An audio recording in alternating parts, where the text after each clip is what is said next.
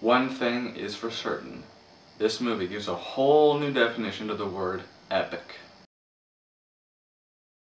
The Raid Redemption is written, edited, and directed by Gareth Evans. And it stars a bunch of people who I don't know. The plot of this film is pretty simple. You have this gang leader who is at the top of this building and this SWAT team is tasked with going floor to floor and take him down and they're trying to do it silently. Unfortunately they are spotted and uh, well action ensues. Prior to seeing this film I saw the trailer once and uh, the trailer made this film look bad ass. Now for those of you who have not seen the trailer and want to see this film or actually most of you probably haven't heard of this film but now you have. Right away I will say don't see the trailer, wait to see this movie because you will not regret it. I have seen a ton of action films. I have also seen a ton of fighting movies but this one is out of this world bad ass. If you go on YouTube there's probably a ton of videos that are titled like most badass fighting scene or whatever, this film has some of the most intense, brutal fighting scenes that I've ever seen in a film.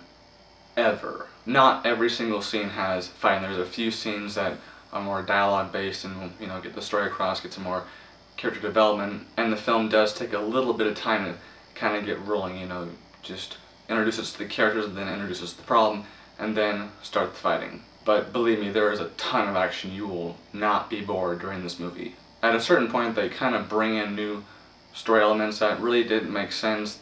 It, it seemed kind of forced. Now, despite all the fighting scenes, and believe me, there's a ton of fighting in this film, and I'm going to sound like a really, really greedy moviegoer, but I would have liked a little bit more diversity. I mean, don't get me wrong, there's some really, really badass and just unbelievable takedowns in this film that, I mean, not even in a video game I've seen. But I would have liked just a little bit, little bit more diversity. I mean, I walked out thinking, what if they'd done this? That'd have been really cool. What if they'd done that? That'd have been more badass, but I'm just saying, you know, like, it's good what they gave us. Actually, it's great what they gave us, but just a little bit more.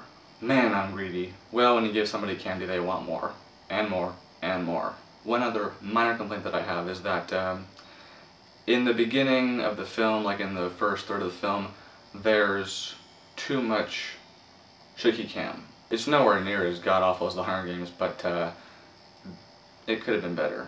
Now, as I've said, I've seen a lot of fighting movies, and, you know, there's plenty more out there, but this movie may just have the best fight scene I've ever seen, no joke. Maybe the best. This film also has two of the most suspenseful scenes I've ever seen. Just the suspense level is unbelievable. If you love action movies, if you love fighting movies, why haven't you seen it? Well, it's probably nowhere near you, so that explains it. Therefore, wait for Netflix or wait for it to come somewhere near you and watch it because this movie is just, it's really good. I don't like overhyping films, but if you love action movies, if you love fighting movies, there's no reason why you shouldn't watch this movie. Just do yourself a favor and experience this because you will not regret it. I give The Raid Redemption 4 out of 5 stars. I can guarantee you one thing. There will be multiple times during this film where you're gonna go, DAMN! Did that just happen?